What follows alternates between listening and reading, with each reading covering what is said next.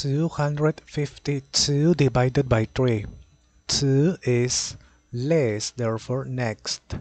25 is not less, therefore with 25. 3 multiplied by which number is nearest to 25 but not greater. 3 multiplied by 9, 27. 27 is greater.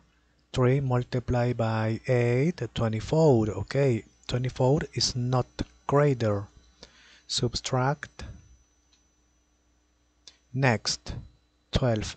3 multiplied by 4, 12 is not greater. Okay, subtract 0. Next, there is not number, therefore finish it.